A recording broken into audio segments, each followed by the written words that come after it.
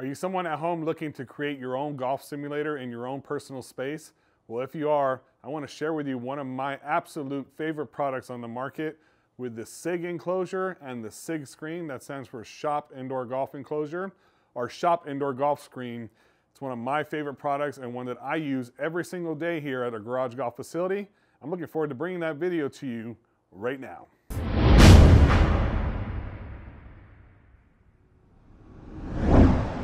All right, thanks again for watching and welcome back. Here at Garage Golf, we provide information on golf products, golf equipment, golf technology, golf simulators, and pretty much anything golf related. So if you're new to our channel, make sure to subscribe, click that bell notification for more videos so you're alerted of new videos like the one we're coming out with here today, the moment they come out. So we're gonna share with you throughout this video one of my favorite products in the SIG enclosure. And what you see behind me is actually the SIG 10 enclosure, which stands for 10 feet wide, and it's basically 8.4 or 8.5 feet tall. I think it's 8 feet 4 inches tall.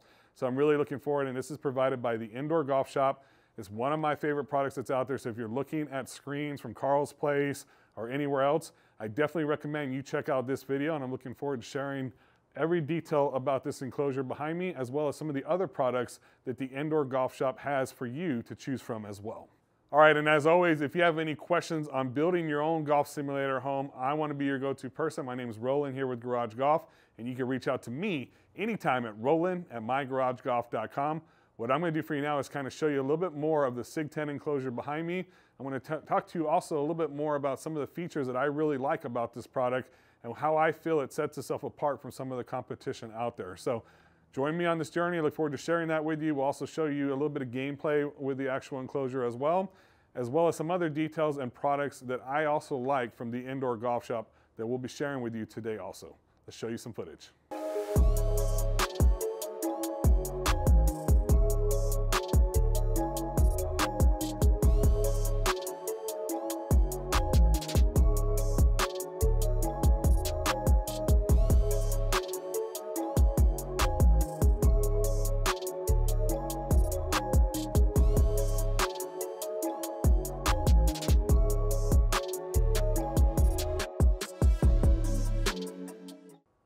Right, so I'm gonna walk you around real quick and just kind of show you some more about the enclosure.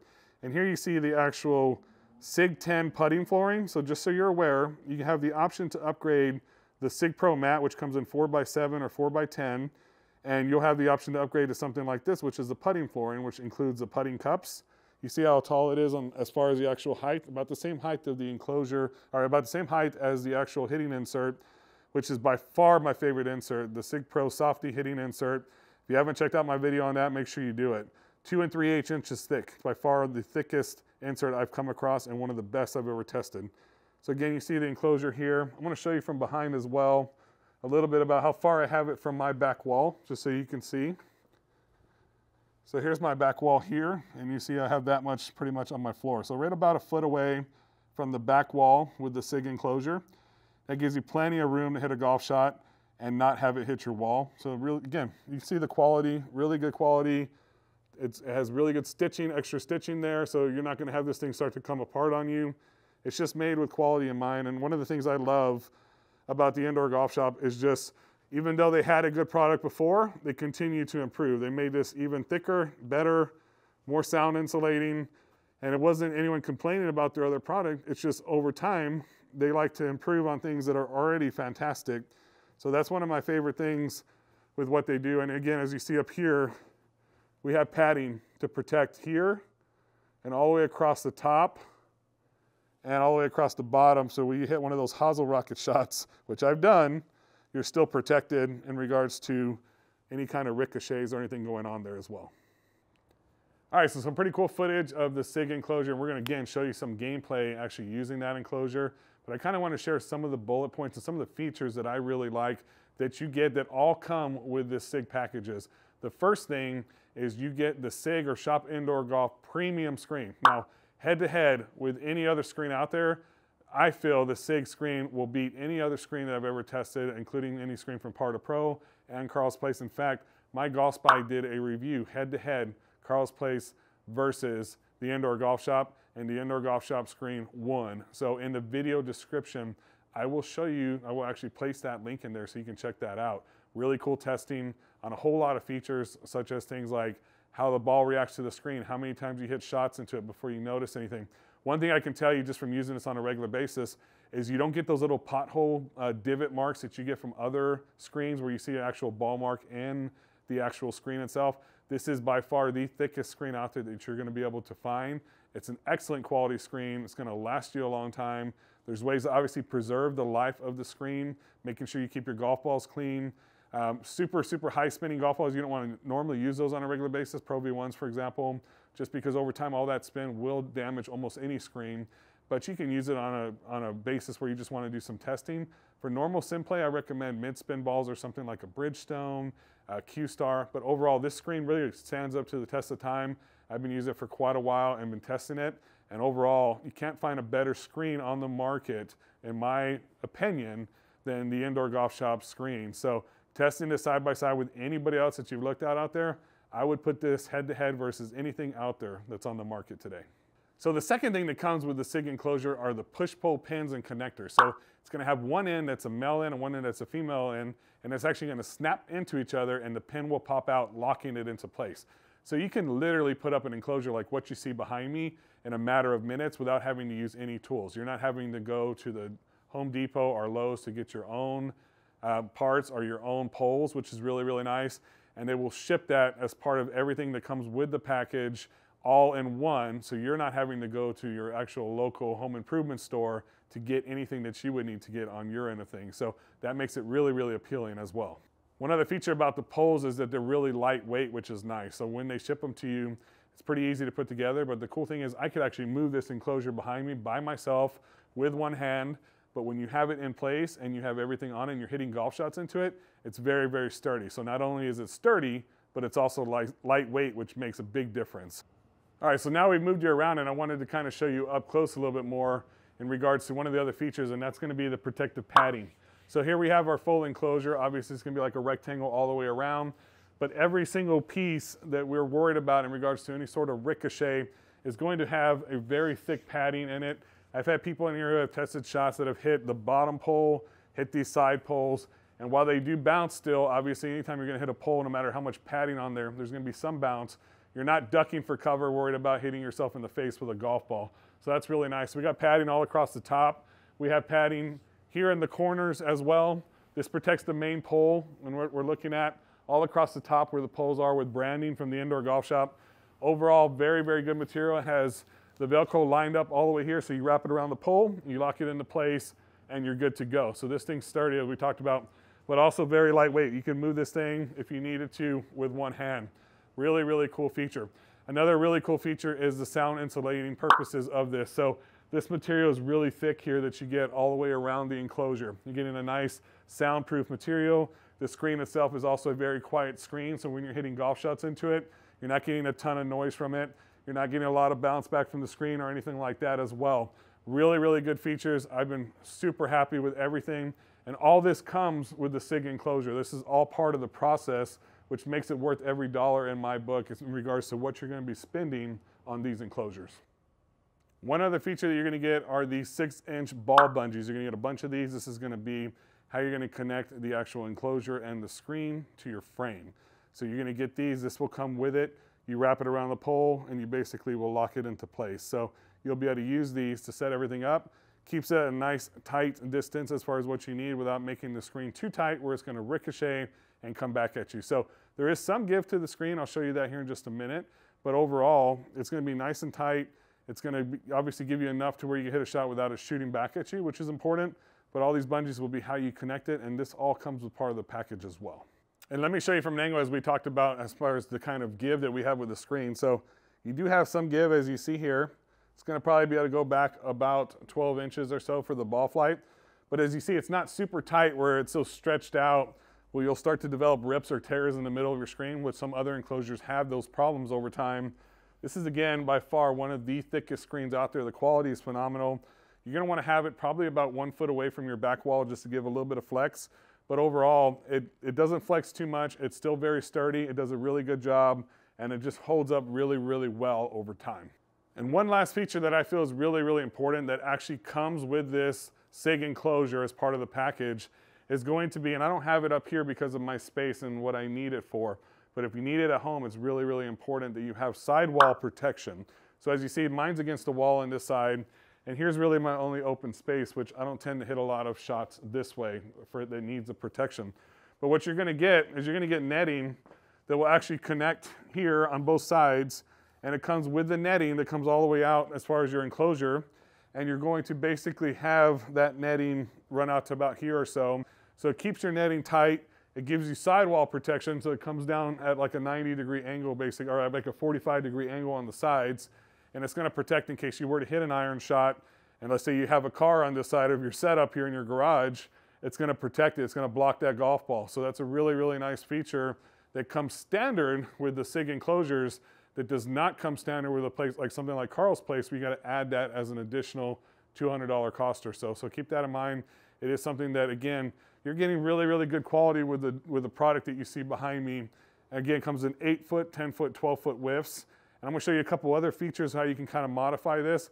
But really, the biggest selling point here is the enclosure and the screen. You can have a multitude of different golf mat options. You see the putting flooring, kind of what I have here. That's another upgrade if you do like a full studio package.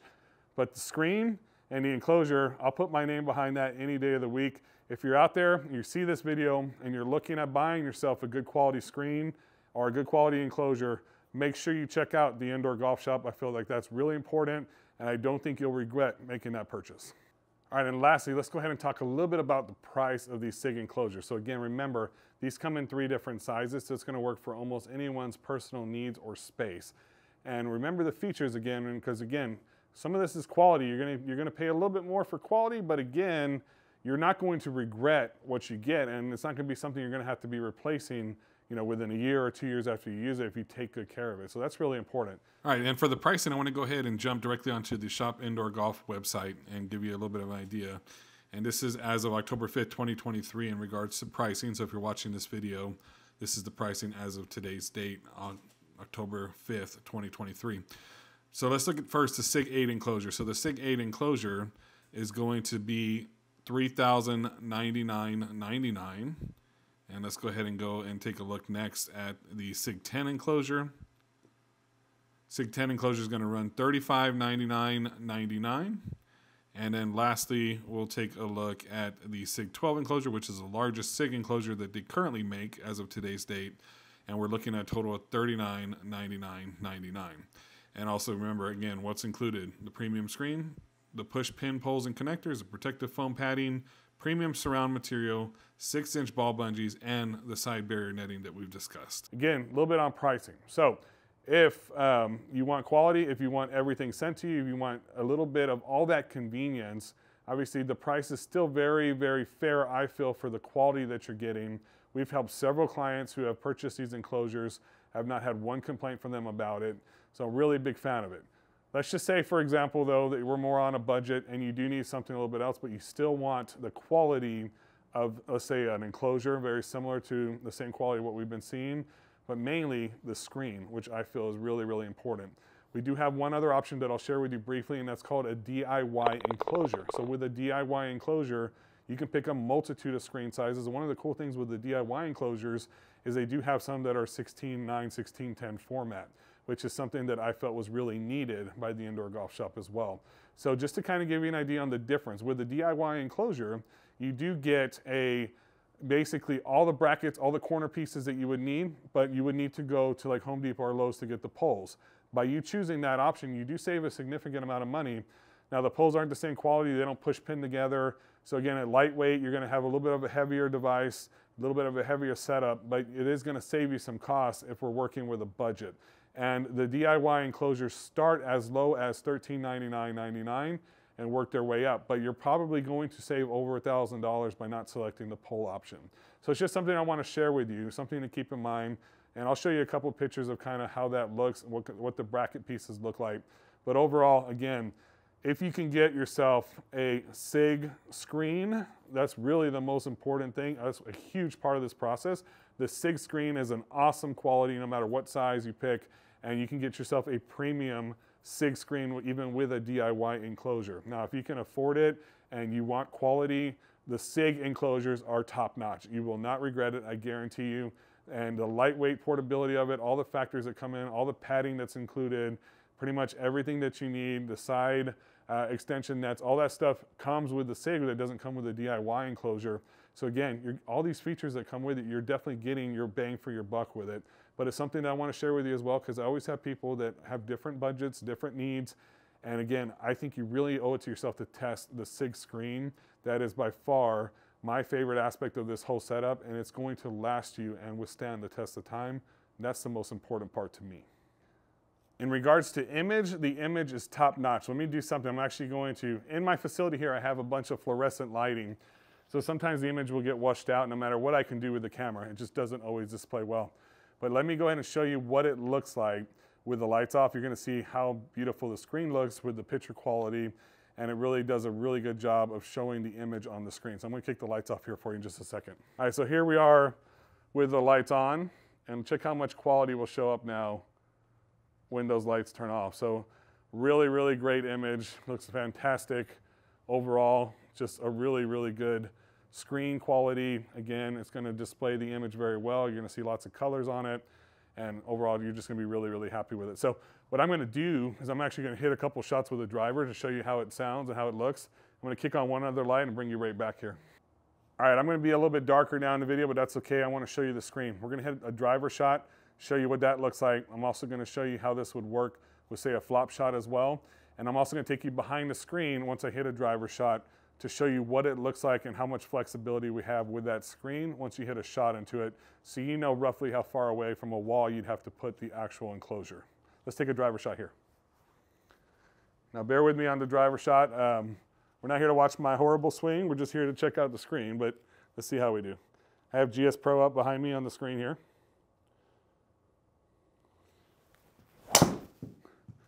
Horrible shot, but very quiet in regards to the screen. And overall, not a lot of noise when you're hitting it with the driver. You hear some noise from the driver, but not the screen itself. Let's hit one more.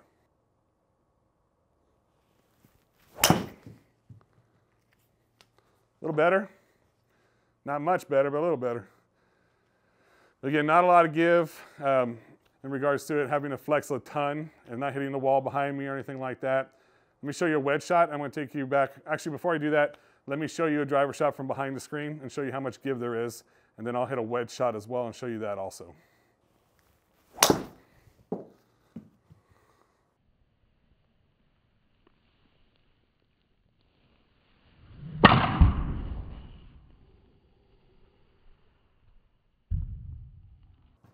So as you can tell from that last shot, it doesn't really flex a lot with the screen, which is nice. So what I'm gonna try to do now as well, because we gotta go on both ends of the spectrum here, is we're gonna try to hit a flop shot. Let's see how the actual enclosure reacts to a flop shot, and if we get a ton of ricochets or what we're doing here. Let's take a look and see how we do.